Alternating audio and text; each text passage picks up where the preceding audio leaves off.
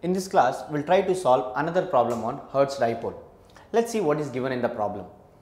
A vertical Hertz dipole radiates 1 kilowatt power. Find the electric field and the Poynting vector at a distance of 10 kilometer from the dipole in the horizontal plane passing through the dipole. What is the direction of electric field at the observation point? So basically we need to find the electric field and we need to find the Poynting vector, right? So both the quantities we have to find it out. Let's see that how I can find the, the electric field and Poynting vector. What I know about the power in case of Hertz dipole? Power is nothing but it is given by it's nothing but 40 pi square I naught square dl by lambda the whole square. This is what is power. Okay but the power which is radiating in the direction is given as 1 kilowatt right. So, I can take this. So, this will be 1 kilowatt equal to 40 pi square I naught square dl by lambda the whole square right. If I simplify this I will get I naught dl by lambda this quantity I will try to find it out which comes out to be if you solve this you will get 5 by pi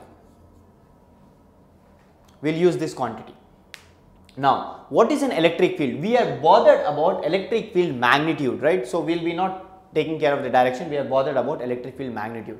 So, the electric field would be given by, if I want to find it out the electric field, it will be I naught dl beta square by 4 pi omega epsilon r. This is what is an electric field. Okay. So, what I can do is how can I solve this? It is nothing but I can rearrange this which comes out to be I naught by 4 pi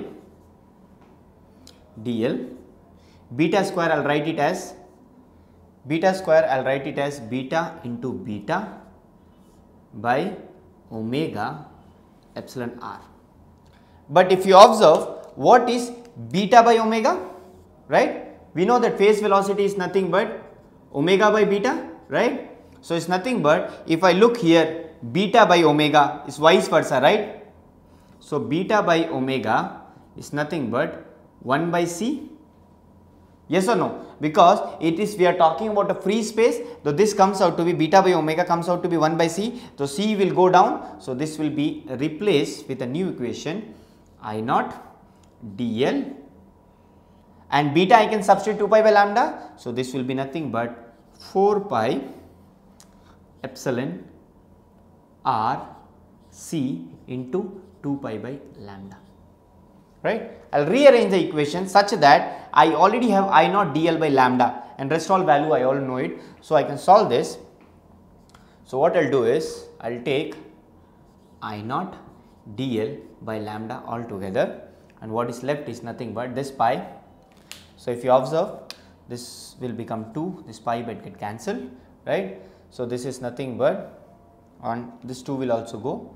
So, this will be nothing but 1 by 2 epsilon r c right.